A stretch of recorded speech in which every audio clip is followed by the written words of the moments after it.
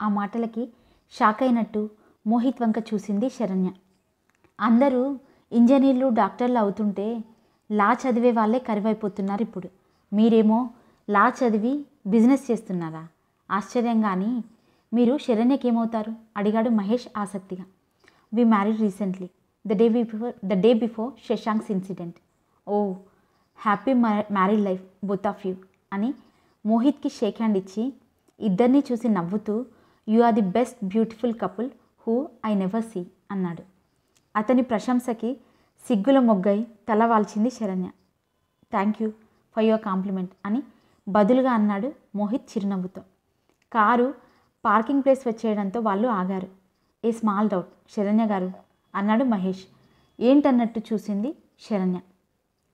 మీకు మహిమకి truck accident జరిగినప్పుడు ఆ ట్రక్లో మొన్న చనిపోయిన ఫరీదే కాకుండా అందులో ఇంకా ఎవరైనా ఉన్నారా? వాడొక్కడే ఉన్నాడు. ఆ ట్రక్లో ఇంకెవరూ లేరు అంది శరణ్య. ఈ కేసు విషయం మాట్లాడదామని మార్నింగ్ స్టేషన్కి వచ్చాం. మీరు లేరు. రేపొకసారి కాల్ చేసి వస్తాం. మహేష్తో అన్నాడు మోహిత్. సరేనన్నాడు సీఎం మహేష్. రుద్రరాజు గారికి భానుమతి మహేష్లకి భయ్ చెప్పి మోహిత్ శరణ్యలు కారులో రిటర్న్ అయ్యారు. మోహిత్ కారు డ్రైవ్ చేస్తున్నాడు. శరణ్య మాత్రం మౌనంగా కూర్చొని ఉంది. స్కూల్ నుంచి ఆమెని గమనిస్తూనే ఉన్నాడు మోహిత్. సైలెంట్ అయింది. అంటే ఏదో ఆలోచిస్తుంది అనుకుంటూ టైం ఎంత అయిందో చూశాడు. మధ్యాహ్నం మూడు గంటలు అవుతుంది ఈరోజు ఆఫీస్కి అర్జెంట్ అయితే ఫోన్ చేయమని ఆఫీస్ బాయ్కి చెప్పాడు. శరణ్య ఇంటికేనా? అని అడిగాడు మోహిత్. ఊ అంది. ఏంటలా ఉన్నావు? ఊ ఊహులు కాదు. అసలు మ్యాటర్ ఏంటి? అన్నాడు. నువ్వు లాయర్వా? గంటకొకలా కనపడుతున్నానా నీకు? నిన్న రౌడీని అన్నావు ఇందాక పోలీసునా అని అడిగావు. ఇప్పుడు లాయర్ అంటున్నావు. రేపు క్రిమినల్వి అంటావా ఏంటి? అల్లరిగా అన్నాడు మోహిత్. రేపు కాదు ఇప్పుడే అంటాను. నాకు నీ విషయాలు ఏమీ చెప్పకుండా పెళ్ళి చేసేసుకున్నావు. నా గురించి మాత్రం ప్రతిదీ ఎలా తెలుసు నీకు? పది రోజులు హాస్పిటల్లో ఉన్నానన్నావు. అది నీకెలా తెలుసు? రుద్రరాజంకుల్ వాళ్ళ ఇంట్లో మహీ మెయిల్ గంటలో బ్రేక్ చేశానన్నావు. అది ఎలా తెలుసు? విశ్వనాథ్ నన్ను ప్రేమిస్తున్నాడని నాకు తెలిసే నాలుగు నిమిషాలు అవ్వలేదు అప్పటికప్పుడు నీకు ఎలా తెలిసింది? వీటికి క్రిమినల్స్ అయిపోతారా? అవరా మరి? క్రిమినల్స్ అంటే గుర్తొచ్చింది. ముందు ఇంటికి కాదు కానీ డాడీ వాళ్ళ ఆఫీస్కి వెళ్దాం. డాడీ సిస్టంలో నెట్ ఉంటుంది. మహిమ ఏమేం ఫోటోలు పంపించిందో నాకోసారి చూపించు అన్నాడు. మరో పది నిమిషాలకి కారు సుగుణారావు గారి ఆఫీస్ దగ్గర ఆగింది. ఆఫీస్లో జూనియర్ ఉన్నాడు. ఏవో పుస్తకాలు తిరిగేసుకుంటూ అందులోంచి నోట్స్ రాసుకుంటున్నాడు. ఆఫీస్ రూమ్లో ఓ కార్నర్లో ఉన్న సిస్టమ్ ఆన్ చేశాడు మోహిత్. కంప్యూటర్ ముందు కూర్చుంది శరణ్య. రుద్రరాజు గారు మహిమ మెయిల్ ఐడికి ఉన్న పాస్వర్డ్ చేంజ్ చేసి ఉంటారేమో అని ఓ పక్క అనుమానం ఆమెలో. నెట్ కనెక్ట్ అయ్యాక Mahima mail ID password type చేసి సైన్ ఇన్ బటన్ని ప్రెస్ చేసింది శరణ్య. కొన్ని సెకండ్లకి సైన్ ఇన్ అయ్యి మహిళ మెయిల్ ఇన్బాక్స్ పేజ్ వచ్చింది. సెంట్ మెయిల్స్ తీసింది శరణ్య. ఆ పేజ్లో మొదటి మెయిల్ శరణ్య పేరుతోనే ఉంది. వెంటనే దాని మీద క్లిక్ చేసింది శరణ్య. మెయిల్ ఓపెన్ అయ్యింది. అందులోని అటాచ్డ్ ఫైల్స్ అన్నీ సిస్టంలోకి డౌన్లోడ్ ఇచ్చింది. ప్రాసెస్ అవుతుంటే పక్కకు చూసింది శరణ్య. మోహిత్ క్యూరియస్గా మెయిల్ వంకే చూస్తున్నాడు. జూనియర్ లాయర్ నోట్బుక్లో పాయింట్స్ రాసుకోవడం పూర్తయ్యాక మోహిత్కి చెప్పి నల్లకోటు సరిచేసుకుంటూ వెళ్ళిపోయాడు. ఫొటోస్ అన్నీ డౌన్లోడ్ అవ్వగానే మెయిల్ నుంచి సైన్ అవుట్ అయింది శరణ్య. మై డాక్యుమెంట్స్ ఫోల్డర్లోని డౌన్లోడ్స్లోకి వెళ్ళి ఫొటోస్ని తీసింది శరణ్య.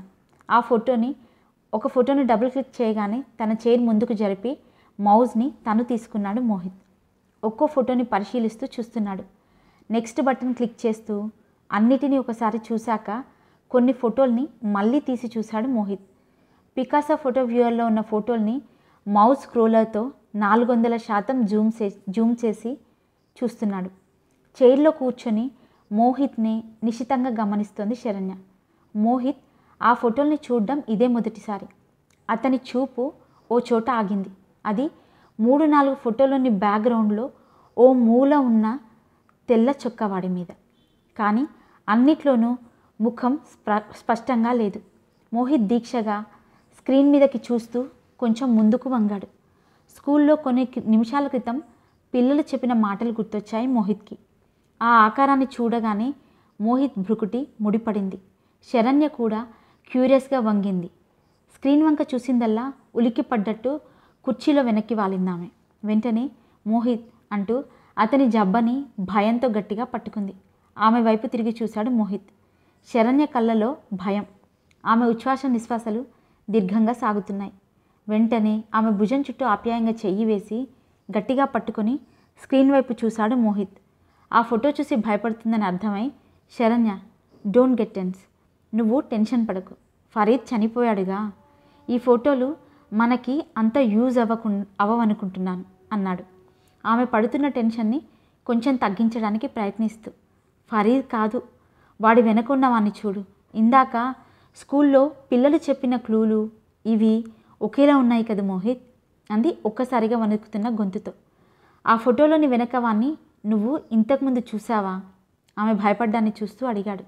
చూశాను. నేను ఈ ఫోటోలోని ఫోటోలని ఫస్ట్ సెల్లోకి కాపీ చేసుకున్నాను. వాటిని ఇంట్లో ఒక్కొక్కటే జూమ్ చేసి చూస్తూ ఇది చూశాను. కానీ అప్పుడు నా బ్రెయిన్కి అంత షార్ప్నెస్ లేదు. నిఖిల్ మహిమల్ని షూట్ చేసి చంపు చంపుతున్న షాక్లోనూ డాడీ ఫోటోలను రిమూవ్ చేసేసారన్న కోపంలోనూ ఉండిపోయాను చెప్పిందామె తను చూస్తున్న దాన్ని శరణ్య చెప్తుంటే అవునన్నట్టు తల నిలువుగా ఊపాడు మోహిత్. మానిటర్లోని ఫోటోలు ఫోటోలో రివాల్వర్ పట్టుకొని ఫరీద్ ముందుకు వస్తున్నాడు. వాడి వెనక నల్లని క్వాలిస్. దాని ఫ్రంట్ డోర్ దగ్గర నిలబడి తెల్లని చుక్కా చొక్కాతో రూపం స్పష్టమవని మనిషి. ప్యాంటు షర్టులో ఉన్న నల్లని ఆకారం.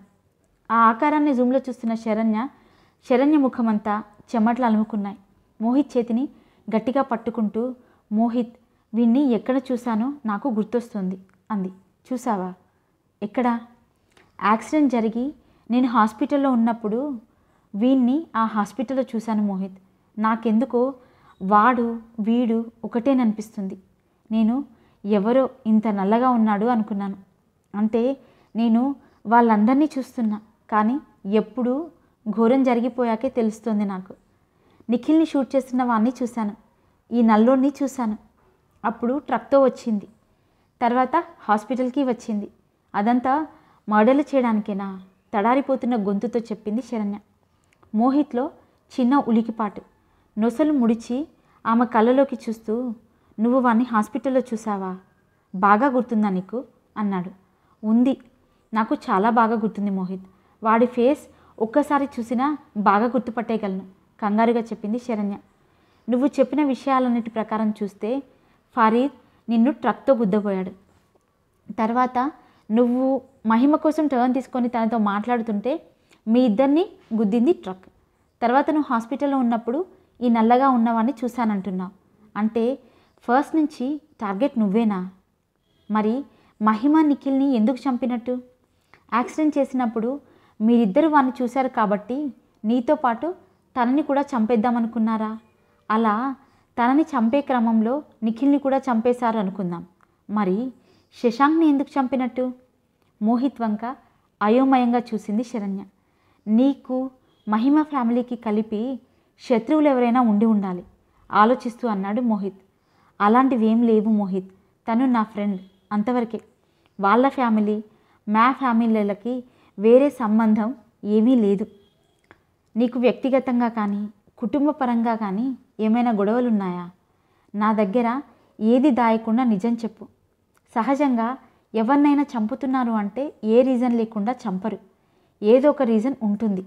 అది వ్యక్తిగతమైన కక్ష లేదా ఏవైనా గొడవల్లో నువ్వు విభేదించడం లేదా ఏదన్నా నేరంలో నువ్వు సాక్ష్యంగా ఉండడం. నేను గొడవల్లోనా? అలాంటివేం లేవు. సరే కంగారం లేదు. బాగా ఆలోచించు. ఈలోపు మహిమ మహిమ మెయిల్ ఐడి ఉంది కదా ఆ మెయిల్స్ని ఒకసారి చెక్ చేద్దాం. అటువైపు నుంచి క్లూ ఏమైనా దొరుకుతుందేమో. మోహిత్ మాటలు వినగానే శరణ్య కళ్ళలో మెరుపు. ఇన్ని రోజులు ఆమె ఆ మెయిల్ ఐడి తనది కాదు. ఓపెన్ చేసి చూడడం మర్యాద కాదు అనే భావంలో ఉండిపోయింది. మహిమ మెయిల్లో ఆధారాలు ఉండవచ్చన్న ఆలోచనే రాలేదు అసలు thank you so much Mohit. Thank you for your valuable thought అంది మెయిల్లోని ఇన్బాక్స్ ఓపెన్ చేస్తూ.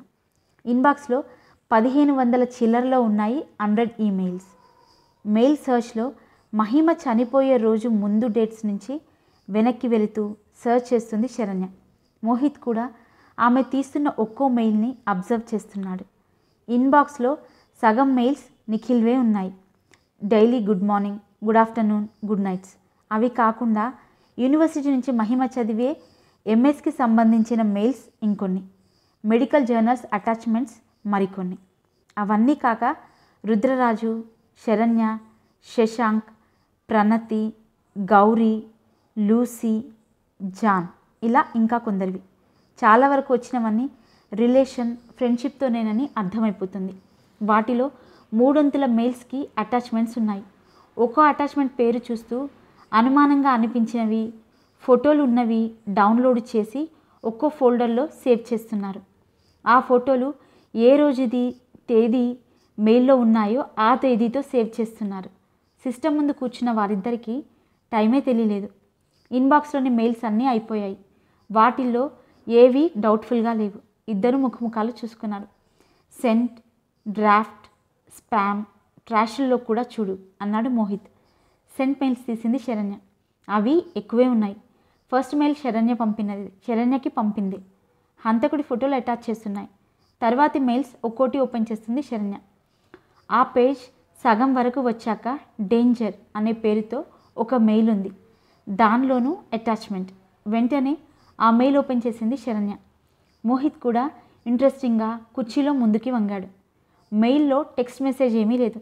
అచ్చం శరణ్యకి పంపిన మెయిల్లోలానే అటాచ్మెంట్ మాత్రం ఉంది. ఇద్దరు కొంచెంసేపు ఊపిరి బిగబట్టారు. సేవ్ టు కంప్యూటర్ అనే ఆప్షన్ సెలెక్ట్ చేసుకుంది. ఫైల్ డౌన్లోడ్ అయ్యి అవ్వగానే శరణ్య ఆతృతగా ఫోటో ఓపెన్ చేసింది. రెప్పవాల్చిక చూస్తున్న ఇద్దరి కళ్ళు షాక్తో పెద్దవయ్యాయి. ఎదురుగా మహిమ మహిమను చూస్తూనే సిగ్గుతో తలవాలిపోయింది. టూ పీస్ బికినీలో ఉంది మహిమ. శరణ్య చప్పున తేరుకొని ఫోటో క్లోజ్ చేసేసింది. తల తిప్పుకున్న మోహిత్ పెదవులపై కని కనిపించని నవ్వు. ఆ ఫోటో చూశాక శరణ్య మనసులో ఏదో తెలియని అలజడి. ఆమెలో రక్తం రెట్టింపు వేగంతో పరిగెడుతూ గుండెల్లో సన్నని అదురు. ఒక పక్కకు వాలి అరచేతిని బుగ్గకు సపోర్టుగా ఆంచి కళ్ళు మూసుకుంది. తానొక్కతే అయితే ఆ ఫోటోని చూస్తే ఏమీ అనిపించేది కాదేమో శరణ్యకి. ఆ ఫోటో మోహిత్తో కలిసి చూడడం వల్ల ఆమె ఏదో తెలియని వెలితితో ఇబ్బందిగా ఫీల్ అయింది. మోహిత్ చేతికున్న వాచ్లో టైం చూశాడు. సాయంత్రం ఐదు గంటలయ్యింది. ఓ Saranya it's five o'clock అన్నాడు. ఫొటోస్ ఫైల్ క్లోజ్ చేసి ఆ ఫోటోని మహిమ ఎవరికి సెండ్ చేసిందో చూసింది. అది నిఖిల్కి పంపిన మెయిల్. మహిమ మెయిల్లోంచి సైన్ అవుట్ అయ్యింది శరణ్య. టేబుల్ సరుగులోంచి పెన్ డ్రైవ్ తీసి ఆమెకిచ్చి డౌన్లోడ్ చేసినవన్నీ సిస్టంలోంచి కట్ చేసి ఇందులోకి పేస్ట్ చేయి అన్నాడు మోహిత్. అతని చేతిలోని పెన్ డ్రైవ్ తీసి అందుకొని ఫోటోలన్నీ పెన్ డ్రైవ్లోకి తీసుకున్నాక వెంటనే సిస్టమ్ షట్ డౌన్ చేసి ఇంటికి బయలుదేరారు ఇద్దరు. ఇంట్లో అడుగు పెట్టేసరికి హాల్లో కూర్చొని కనిపించారు ప్రణతి సౌజన్యలు. వాళ్ళని చూడగానే ఎక్కడ లేని అమితమైన ఆనందం వచ్చింది శరణ్యకి. ఎప్పుడొచ్చారు? రాగానే నాకు ఫోన్ చేయొచ్చు కదా అంది ప్రణతి పక్కన కూర్చుంటూ. ఆమెలో ఇందాకటి టెన్షన్లు భయాలు అనుమానాలు అన్నీ తుడిచిపెట్టినట్టు పోయాయి. మీ ఇద్దరు బయటికి వెళ్ళారని చెప్పారు అత్తయ్య. మిమ్మల్ని డిస్టర్బ్ చేయడం ఎందుకులే అని కొంచెం కొంటెగా అంది సౌజన్య. అంతే సీనేం ఉండదులేమ్మా. అందరూ నీలా ఉంటారేంటి? శరణ్యకి సపోర్ట్ చేస్తూ అంది ప్రణతి. Thank you Pranu. దీంతో పడలేకపోతున్నాననుకో ఒక పక్క అమ్మ అయ్యా అని పొట్ట పట్టుకొని ఆపసోపాలు పెడుతూ మన క- మనల్ని కంగారు పెట్టుద్దా? మళ్ళీ అంతలోనే షాపింగ్కి వెళ్దామా? మూవీకి వెళ్దామా? పానీపూరి తిందామా? చాట్ తిందామా? అని చంపేస్తుందనుకో ఒక్క నిమిషం కూడా ప్రశాంతంగా ఉండనివ్వదు. అక్క సౌజన్య మీద కంప్లైంట్స్ అన్నీ గడగడా చెప్పింది శరణ్య. మెట్లెక్కుతూ వెళ్తున్న మోహిత్కి శరణ్య మాటలు వినిపిస్తున్నాయి. చిరునవ్వుతో క్రేజీ గర్ల్ అనుకుంటూ వెళ్ళిపోయాడు. పోన్లేవే తొమ్మిదో నెల నిండిపోతుందిగా ఇంకెన్ని రోజులు? దీన్ని ఏడిపించేవాడు ఒకడు వస్తాడుగా. శరణ్యతో అంది ప్రణతి. అపర్ణ గారు అందరికీ తినడానికి టిఫిన్లు తీసుకొచ్చి ఇచ్చారు. మీరెందుకు అత్తయ్య గారు తేవడం? లక్ష్మి ఉందిగా? అంది శరణ్య. ఇంటికి అతిథులు వస్తే పనమ్మాయితో మర్యాదలు చేస్తామా తప్పు కదూ? చాలా మామూలుగా అంటూ లోపలికి వెళ్ళిపోయింది ఆవిడ. కిసుకున నవ్వేశారు సౌజన్య ప్రణతిలు. మీ అత్తయ్య గారి వాళ్ళకి మరీ పట్టింపులు మర్యాదలు ఎక్కువ అనుకుంటా నువ్వేమో ఇంటికి ఎవరు వచ్చినా పట్టించుకోవు. చచ్చావే? సంబరంగా చిటికలేసింది సౌజన్య. అపర్ణ గారు మళ్ళీ వచ్చారు మంచినీళ్ళతో. టిఫిన్ అయ్యాక అమ్మాయిల్ని నీ గదికి తీసుకువెళ్ళి శరణ్య ఎంతో ఆప్యాయంగా అన్నారు అపర్ణ గారు. లేదండి నేను వెళ్ళిపోవాలి. నైట్కే ట్రైన్. మా అత్తయ్య గారికి రా- మా అత్తయ్య గారికి బాగోలేక దీని పెళ్ళికి రాలేకపోయాను. అందుకే బాంబే నుంచి హైదరాబాద్కి రావడం రావడమే మళ్ళీ ట్రైన్ ఎక్కి ఇటు వచ్చేసాను అంది ప్రణతి. ఈసారి వచ్చినప్పుడు మాత్రం మీ స్నేహితురాలితో రెండు రోజులు ఉండేలా రావాలి. ఆప్యాయతతో కూడిన చిరునవ్వుతో అన్నారు అపర్ణ గారు. ఆవిడ లోపలికి వెళ్ళాక ముగ్గురు కబుర్లలో పడ్డారు. లోపలికి వినవస్తున్నాయి వారి నవ్వులు. ఫస్ట్ నైట్ రోజు ఏం జరిగిందో తెలియదు శరణ్యని వదిలేసి ఒక్కడే వచ్చేశాడు. ఈ అమ్మాయినేమో వాళ్ళ నాన్న తీసుకొచ్చారు. పాపం అదే రోజు తన స్నేహితురాలి తమ్ముడు చనిపోయాడు. ఆ రోజు మొత్తం ఏడుస్తూనే ఉంది పిల్ల. ఈరోజు ఆఫీస్లో ఇద్దరు బాగానే ఉన్నారని ఈయన ఫోన్లో చెప్పారు. ఇప్పుడు హుషారుగానే ఉంది. శరణ్య ఇలానే ఉంటే బాగుండు అనుకుంది వంటగదిలోని అపర్ణ. మాటల్లోనే గంట గడిచిపోయింది. వెళ్తామని లేచారు సౌజన్య ప్రణతిలు. వాళ్ళని బయట దాకా పంపి ఇంట్లోకి వచ్చింది శరణ్య. తమ గదిలోకి వెళ్ళేసరికి మోహిత్ టవల్ నడుముకి కట్టుకొని అప్పుడే బాత్రూమ్ నుంచి బయటకి వస్తున్నాడు. పసుపు పచ్చని తడి ఒంటి మీద నల్లని వెంట్రుకలు పాయలు పాయలుగా అంటుకొని ఉన్నాయి. తడి ఆరని దేహం కాంతి నింపుకున్నట్టు ప్రకాశిస్తుంది. అతని ముఖాన్ని మూడొంతులు కప్పేస్తూ తల మీద ఉంది మరో టవల్. రెండు చేతులతో తడి తలని తుడుచుకుంటుంటే అతని సింహం లాంటి సన్నని నడుము ఆమెని సన్నని నడుము బలమైన వక్షం ప్రస్ఫుటంగా కనిపిస్తున్నాయి. ఒక్క క్షణం శరణ్య కళ్ళు అతని మీద నిలిచాయి. వెంటనే తమ జంటని ప్రశంసిస్తూ చూసిన చూపులు మాటలు మదిలో మెదిలాయి. అతను తలెత్తి ఆమె వైపు చూడబోతుంటే వెంటనే చూపు మరోవైపుకు తిప్పుకుంది శరణ్య. నువ్వు ఫ్రెష్ అయ్యిరా మధ్యాహ్నం స్కూల్కి వెళ్ళాలన్న హడావుడిలో నువ్వు సరిగ్గా లంచ్ చేయనే లేదు అన్నాడు మోహిత్. తలుపుతూ తన వార్డ్రోబ్ వైపు నడుచుకుంటూ వెళ్ళింది శరణ్య. ఏమండి రేపు మహి చనిపోయిన రోజు మెల్లగా అంది భానుమతి. అన్నారు రుద్రరాజు. ఇద్దరు లాన్లో కూర్చున్నారు. అదే లాన్లో సందడి నింపుకున్న రోజులు లెక్కలేనన్ని. పిల్లల పుట్టినరోజులు పండగ అకేషన్లు ఎన్నో. అర్ధరాత్రి వరకు చేసుకున్న సంబరాలు ఇంకా ఎన్నో. అవన్నీ కలలో మెదులుతున్నాయి ఇద్దరికి. సంతోషంగా గడిచిన రోజులు అతి త్వరగా గడిచిపోయినట్టున్నాయి. ఇప్పుడు ఈ కష్ట సమయం గడవనే గడవట్లేదు. సందడి చేసే పిల్లలు కనుమరుగై ఇల్లు మొత్తం కాంతి విహీనమయ్యింది మహి చనిపోతూ ఎంత నరకం అనుభవించిందో. తమని చంపిన వాళ్ళు దొరికే వరకు దాని ఆత్మకి శాంతి ఉండదేమో. ఏదో ఒకటి చెప్పాలని ఎంతగానో ప్రయత్నిస్తుంది భానుమతి. మనం ఏం చేయగలం భాను?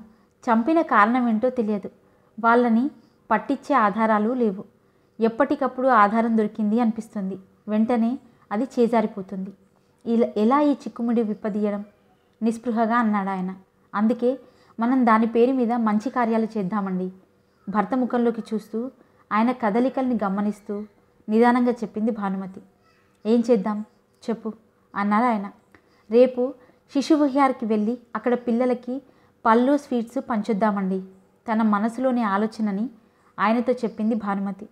భార్య ముఖంలోకి చూసి రుద్రరాజు ఆమె కోరిన దానికి అంగీకారంగా తల ఊపారు.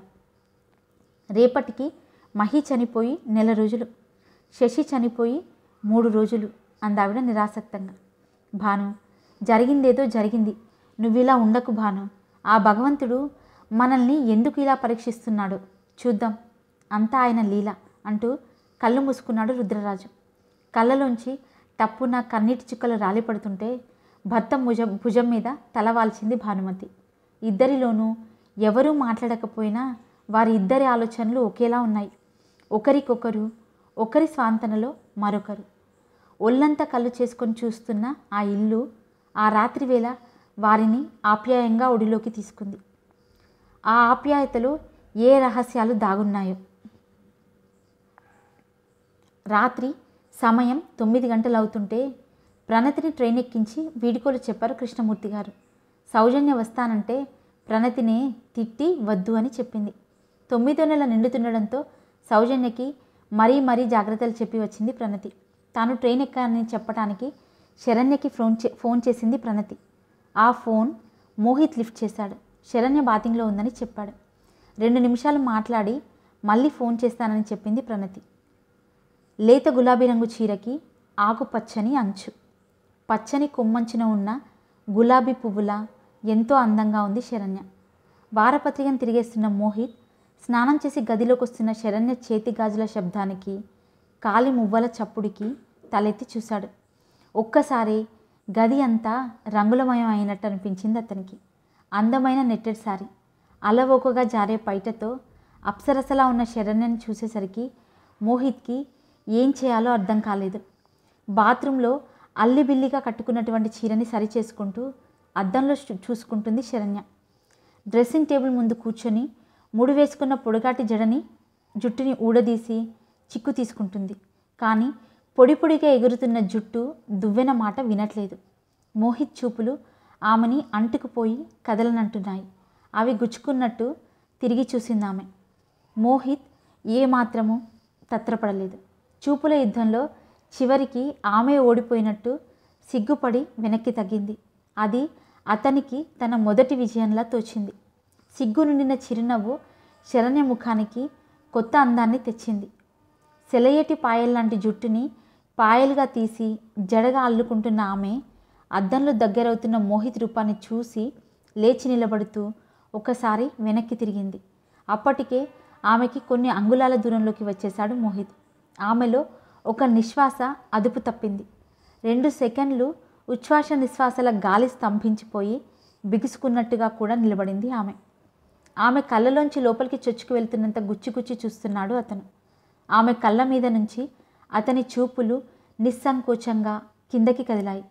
ఎక్స్రే కిరణాల్లాంటి అతని చూపులకి తన శరీరాన్ని చుట్టుకొని ఉన్న చీర అడ్డు కాదనిపిస్తూనే నిలువెల్లా సిగ్గు కమ్ముకుంది శరణ్యని. ఎల్లోరా శిల్పంలో నిలబడి ఉన్న శరణ్యని చూస్తూ మోహిత్ తనని తాను నిగ్రహించుకోలేకపోతున్నాడు. ఆమె భుజం మీద పడింది అతని చెయ్యి. ఒక్క క్షణం అక్కడ బిగుసుకో బిగుసుకో బిగుసుకోవడంతోనే వెంటనే కిందికి జారింది. శరణ్య అతని చేతిని తీసేయడం మోహిత్ ఆమెని బలంగా అల్లుకుపోవడం రెండు ఒక్కసారే జరిగాయి. కళ్ళకి కనిపించని అంతఃశరీర రసాయనిక చర్యలో విడుదలయ్యే ఫెరమోన్స్ వారిని శరణ్య మేని సుగంధం తోడై అతనిలోని వాంఛని రెచ్చగొడుతోంది. విజయానికి అలవాటు పడ్డ మనస్సు చర్యలు ముందుకే సాగుతాయేమో. శరణ్య అతని పట్టును వదిలించుకోవడానికి విశ్వ ప్రయత్నం చేస్తుంది. అలవాటు లేని కట్టుతో అల్లిబిల్లిగా చుట్టుకున్న చీర అటు ఇటు జారిపోతూ ఆమెని పాములా చుట్టేస్తుంది. ఆమె సన్నని నడుమును చుట్టుకుపోయిన అతని దృఢమైన చేతుల్లోంచి బయటపడడం సాధ్యం కాక మోహిత్ బదులు వదులు అంది శరణ్య. మోహిత్ చెవిలో వినిపిస్తున్న ఆమె మత్తు నిండిన మాటలు అతనిలోని కోరికని మరింతగా హెచ్చిస్తున్నాయి. నిలబడున్న శరణ్యని బొమ్మనెత్తినట్టుగా రెండు చేతులతో ప్రేమగా ఎత్తి మంచం మీద పడేశాడు మోహిత్. ఒక చేత్తో ఆమెని గట్టిగా బంధించి పట్టుకొని మంచం పక్కనే ఉన్న గోడకి ఉన్న స్విచ్ లైట్ స్విచ్ తీసేశాడు. గది అంతా వంపుకున్న చీకటికి ఒళ్ళంతా నింపుకుంటున్న భారానికి తన గుండె స్పందన తనకే స్పష్టంగా వినిపిస్తుంది శరణ్యకి. పెళ్ళిలో శరణ్యని తాకుతున్న స్పర్శ స్పర్శతో మొదలైన అతడి దేహ సంచలనం గడియ గడియకి పెరుగుతూ వస్తుంది. మధ్యాహ్నం ఆమెలోని అతి మధురత్వాన్ని రుచి చూశాక ఇంకా ఇంకా కావాలన్న తపన. అతని చేతులు ఆమెలోని ఆశాంతాన్ని తమకంగా తడిమేస్తున్నాయి అతని చేతల్ని బలంగా వ్యతిరేకించాలని ఆమెలోని బుద్ధి ఒత్తిడి తెస్తుంటే కొత్త రుచి తెలుసుకుంటున్న మనసు మాత్రం వద్దని మారం చేస్తుంది. Sharanya I love you. ఆమె ప్రమేయం లేకుండానే ఆమె చేతల్లోని వ్యతిరేకత తగ్గుతుంది. అతని చేతల్లోని కాంక్ష పెరుగుతోంది. ఏ ఫస్ట్ నైట్ రోజు ఇవ్వాల్సిన దాన్ని ఇంకెన్ని రోజులకి? అతని మాటలు ఇంకా పూర్తవలేదు సిగ్గుతో ముడుచుకుపోతూ అతని పెదవులపై అరచేతి నుంచింది శరణ్య. పుట్టి ఊహ తెలిసిన దగ్గర నుంచి ఎవరూ తాకనైన తాకని చోటుల్ని అతని చేతులు చొరబాటుగా ఆక్రమించుకుంటున్నాయి. నిస్సంకోచంగా సంచరిస్తూ గిలిగింతలు పెడుతున్నాయి. భర్తగా తన మీద అధికారాన్ని పొందడం వల్ల కొంత ఈ రెండు రోజులుగా చూస్తున్న అతని వ్యక్తిత్వం వల్ల కొంత అతని శృంగార చేష్టలు రగుల్చుతున్న తాపం వల్ల ఇంకొంత అతనికి అనువుగా మళ్ళీపోతుంది ఆమె అడ్డగించిన ఆమె ఆహ్వానిస్తోంది. లయబద్ధమైన సంగీతంతో చిన్నగా మొదలై గ్రాడ్యువల్గా పెరుగుతూ శరణ్య సెల్ ఫోన్ మోగింది. బద్ధకంగా కళ్ళు తెరిచింది శరణ్య. ఆమెని బలంగా చుట్టి ఉంది మోహిత్ చెయ్యి. అతని చూడగానే రాత్రి జరిగిందంతా గుర్తొచ్చి ఆమె మోమంతా సిగ్గుతో ఎర్రబడింది. రాత్రి బలవంతం చేసిన చాలక భోజనం చేసి వచ్చాక తన వల్ల కాదంటున్న మోహిత్ వింటేనా? మూడు రోజుల బాకీ ఒక్క రోజులోనే వసూలు చేసేసుకున్నాడు మోహిత్. అతని ముఖంలోకి చూడగానే అవ్యక్తమైన భావమేదో ఆమెలో. అతని నిద్రకి భంగం కలుగుతుందేమో అన్నట్టు వెంటనే కాలోకి చేసింది శరణ్య. అటువైపు భానుమతి గారు. చెప్పండి ఆంటీ అని అంది శరణ్య కొంచెం మెల్లగా. ఏం లేదురా అంకుల్ నేను శిశు విహార్కి వెళ్తున్నాం. ఎందుకో? మీరు వస్తే బాగుండు అని అనిపించింది అని చెప్పింది భానుమతి. ఎప్పుడు ఆంటీ వెళ్ళేది? అని అడిగింది శరణ్య. ఇప్పుడు టెన్ ఓ క్లాక్కి బయలుదేరుతాం అందావిడ. తల తిప్పి మోహిత్ వంక చూసింది. పాపం తెల్లవారుజామున ఎప్పుడో పడుకున్నాడు. అతన్ని లేపడం ఏమాత్రం ఇష్టం లేదు శరణ్యకి. అందుకే నేను ఇంకా బెడ్ మీదే ఉన్నానంటీ మీ ఫోన్కే లేచాను. నెక్స్ట్ టైం ఎప్పుడైనా వస్తాము. సారీ. అంటే ఏమీ అనుకోకండి అంది. పర్లేదు లేరా? దీనికి సారీ ఎందుకు? నువ్వేం ఫీల్ అవ్వకు. ఉంటాను. వచ్చాక ఫోన్ చేస్తాను. ఇంటికొద్దు. చిరునవ్వుతో చెప్పింది ఆవిడ. ఓకే ఆంటీ అని బాయ్ చెప్పి కాల్ కట్ చేసింది శరణ్య. తల తిప్పి మోహిత్ వంక చూసి అతనికి దగ్గరగా జరిగింది. నిద్రలోనే కదులుతున్న అతని చెయ్యి ఆమె నడుము మీద బిగుసుకుంది. చిరునవ్వుతో విచ్చుకున్నాయి ఆమె పెదవులు ఎంతో ఆనందంగా. పెళ్ళి ప్రారంభ తంతులతో మొదలవ్వాల్సిన మధురోహలు ఆమెలో సంగమం తర్వాత చిగురిస్తున్నాయి. మెడలోని మంగళసూత్రాలను చేతిలోకి తీసుకొని వాటి వంక ఎంతో అపురూపంగా చూసుకుంది శరణ్య. కిటికీలోంచి తెల్లగా వెలుగు పడుతుంటే వాల్ క్లాక్ వంక చూసి అమ్మో నైన్ ఓ క్లాకా ఇంతసేపా నిద్రపోయేది. అది కొత్తగా పెళ్ళై వచ్చాక అత్తారింట్లో. ఆవిడొచ్చి పిలిస్తే అని అనుకుంటూ మెల్లగా మోహిత్ చేతిని తప్పించి గబగబా లేవబోయింది శరణ్య.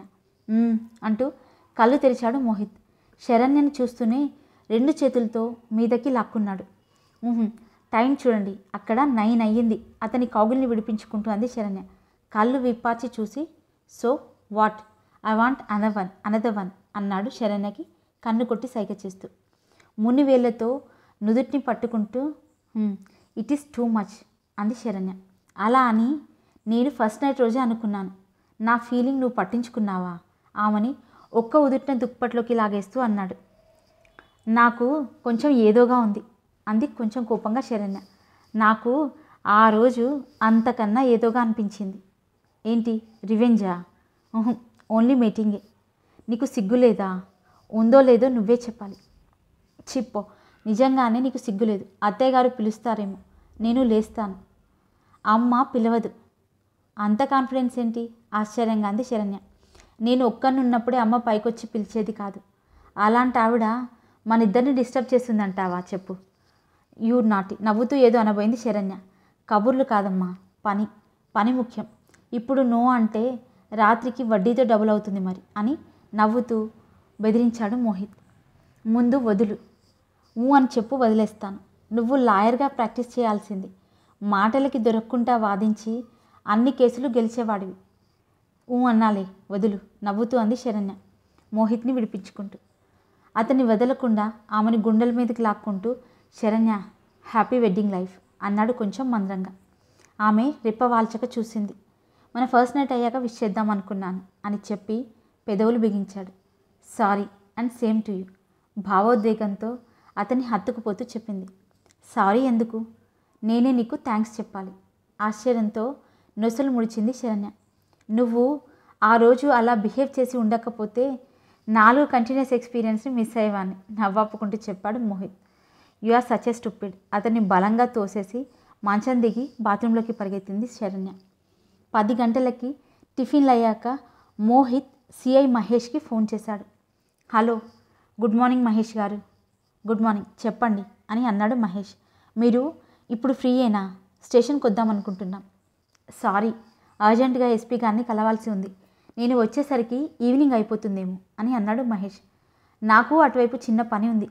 నేను మిమ్మల్ని అక్కడ మీట్ అవుతాను. ఓకే ఫోన్ పెట్టేశాడు మహేష్. మహేష్ అన్నదాన్ని శరణ్యతో చెప్పి మనం వెళ్దామా? అన్నాడు మోహిత్. సరే అందామే. మోహిత్ శరణ్యలు ఎస్పీ ఆఫీస్కి వెళ్ళేసరికి అక్కడంతా జనాలతోనూ న్యూస్ రిపోర్టర్లతోనూ ఎంతో హడావుడిగా ఉంది. మోహిత్ తన విజిటింగ్ కార్డ్ని ఎస్పీ ఛాంబర్ బయట ఉన్న సెంట్రీకి ఇచ్చాడు. అతను కార్డ్ తీసుకొని లోపలికి వెళ్ళి రెండు నిమిషాలకి తిరిగి వచ్చి లోపలున్న వాళ్ళు వచ్చేశాక మిమ్మల్ని పంపించమన్నారు అని చెప్పాడు. పది నిమిషాలు వెయిట్ చేసేసరికి సెంట్రీ లోపలికి వె- వెళ్ళమని చెప్పాడు. మోహిత్ శరణ్యలు ఇద్దరూ ఎస్పీ ఛాంబర్లోకి వెళ్ళారు. Hi Mohit how are you? మోహిత్ని చూడగానే SP Niranjan garu shake hand ఇస్తూ ఆప్యాయంగా అన్నారు. Fine sir how is Pinky? అన్నాడు మోహిత్ చిరునవ్వుతో. బాగుంది అప్పుడప్పుడు నిన్ను అడుగుతూ ఉంటుంది. గట్టిగా నవ్వారు ఎస్పీ. శరణ్య మోహిత్లు నిరంజన్కి ఎదురుగా ఉన్న కుర్చీల్లో కూర్చున్నారు. శరణ్య కళ్ళు పెద్దవి చేసి చూస్తుంది వారిద్దరిని. ఆమెతో పాటు మహేష్ కూడా ఆశ్చర్యంగా చూశాడు వాళ్ళిద్దరిని.